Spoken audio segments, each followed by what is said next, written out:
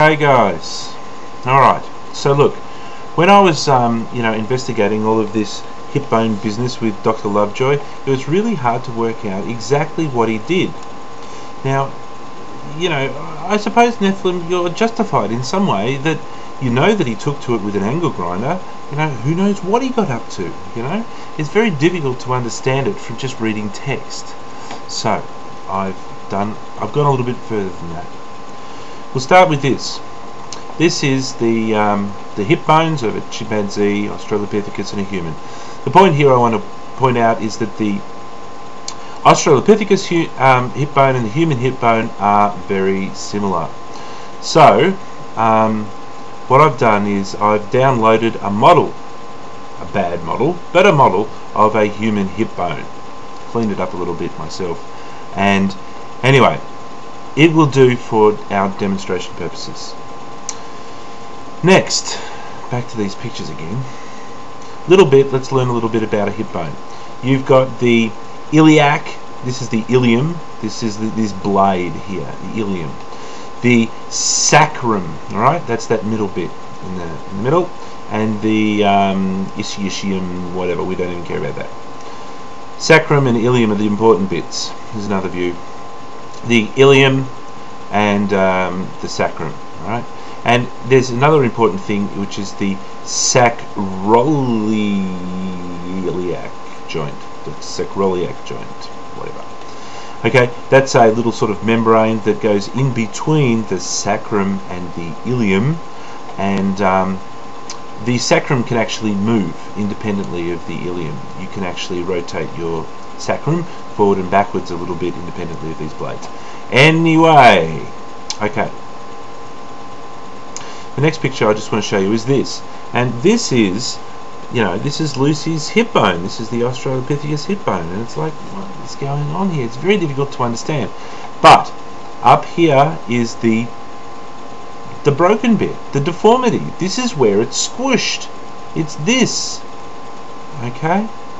you saw from the ilium before these blades extend up they're flat this is clearly broken those are shards of bone that have come away okay and that is the top bit the top rounded bit of the of the blade this edge here is over here this is broken and this is what Dr. Lovejoy repaired so let's have a look at it in 3D Alright, so this is the, the model that I downloaded. Remember, this is a human hip bone, but I'm using this as an example. First of all, what is this bit? Where is this? Well, I can't make any sense out of what's going on there. Well, just back to the diagram just for a sec. It's this area, just here, where the ilium meets the sacrum. Alright? Okay, so here's the hip bone. Okay just like in one of these pictures. Okay hip bone hip bone. And now I will rotate the hip bone so that it's at the same angle as this picture to show you where it is and what this picture means. Here we go. Through the wonders of 3D here we go.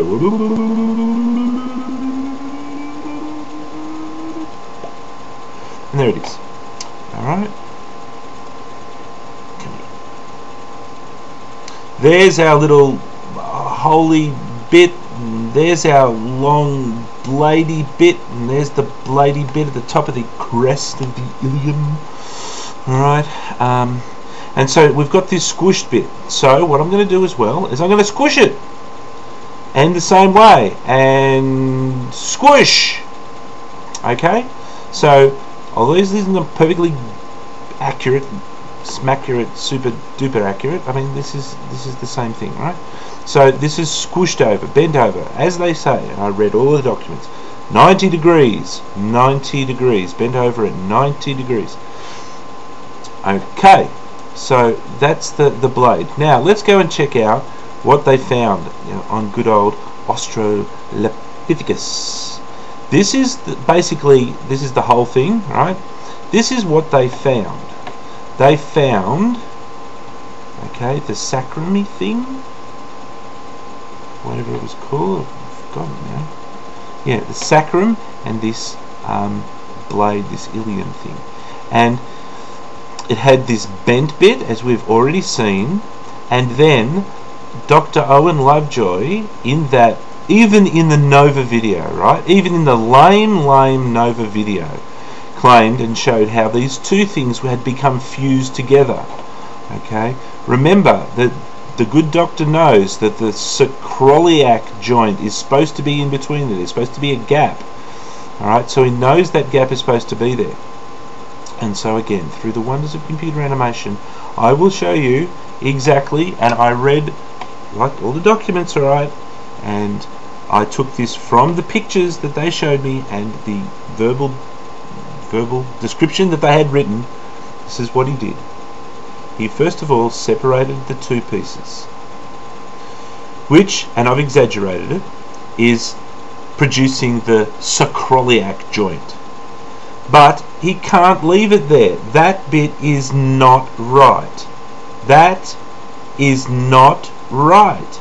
And it goes, they say at lengths in both documents that this has to be repaired for the evidence to be valuable, for us to make useful information out of this. And so he, he repaired it. And he did that.